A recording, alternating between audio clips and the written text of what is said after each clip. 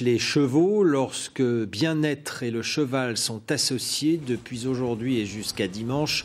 Le premier salon du bien-être avec le cheval a lieu à l'hippodrome d'Anguin-les-Bains dans le Val d'Oise. Pour la première fois en France, toutes les activités se servant du cheval pour le bien-être de l'homme sont exposées. Et ces activités sont très variées. Elles contribuent au bien-être physique et moral de tous ceux qui cohabitent avec les poneys et les chevaux. Vous allez le voir avec l'équipe coaching que vous présente Tania Watine Louis Simondet.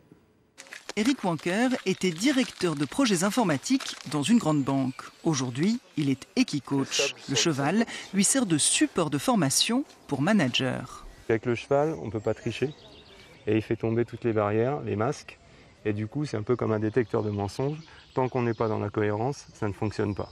Ce jour-là, une association d'entrepreneurs du Val d'Oise veut apprendre à travailler ensemble pour décrocher de nouveaux contrats. Eric leur propose de mener à deux un cheval sur un parcours d'obstacles, comme pour convaincre un client en duo. Le cheval et le client, tout à fait.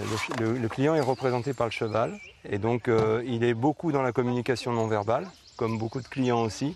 Et donc ça permet à chacun de pouvoir interpréter la communication non verbale et aussi de pouvoir l'exprimer lui-même.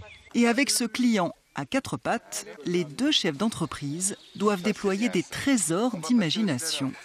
Allez, Ama, t'es une jolie fille. On y va. Ouais, je sais. C'est pas simple, mais tu vas y aller quand même. Et c'est là que ça va être bien.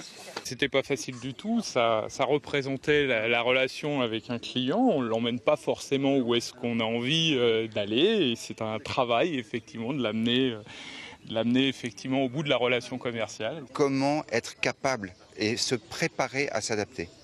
Moi, c'est ce que j'ai appris. Se préparer à l'inattendu. Je connaissais bien les chevaux, mais pas du tout l'équi-coaching, donc ça a été une découverte, tout à fait. L'Île-de-France compte 20 à 30 équi-coachs, une méthode de formation managériale qui séduit de plus en plus d'entreprises.